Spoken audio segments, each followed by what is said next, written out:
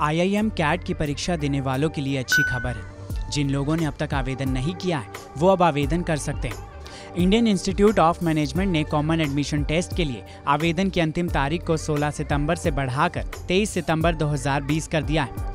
इच्छुक उम्मीदवार जिन्होंने अभी तक आवेदन नहीं किया है, वो 23 सितंबर शाम पाँच बजे तक I I M CAT dot A C dot in पर जाकर अपना फॉर्म भर सकते हैं। परीक्षा उनतीस नवंबर को आयोजित की जाएगी। पूरे भारत में एक सौ छप्पन शहरों में, विभिन्न परीक्षा केंद्रों पर दो सत्रों में 29 नवंबर को एक कंप्यूटर आधारित कॉमन एडमिशन टेस्ट 2020 आयोजित कराया जाएगा। परीक्षा तीन विभागों में आयोजित की जाएगी।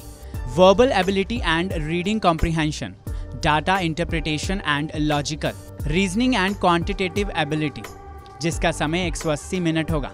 बताया जा रहा है कि परीक्षा का परिणाम जनवरी 2021 के दूसरे सप्ताह तक घोषित होने की संभावना है। कोरोना संकट को ध्यान में रखते हुए परीक्षा को आयोजित किया जाएगा।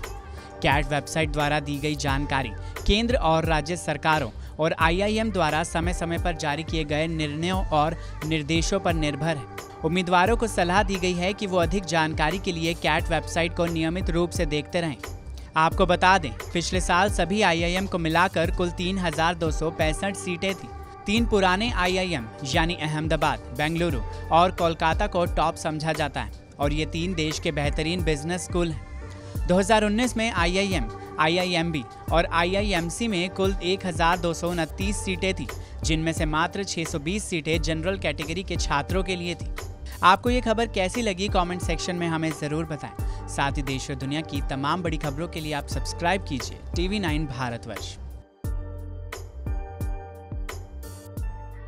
अड़ी सोमवार से शुक्रवार शाम छह बजे। सिर्फ़ टीवी नाइन भारतवर्ष पर।